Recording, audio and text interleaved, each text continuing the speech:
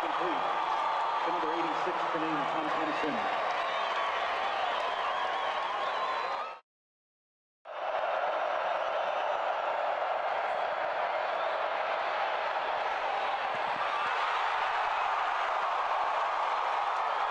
This is.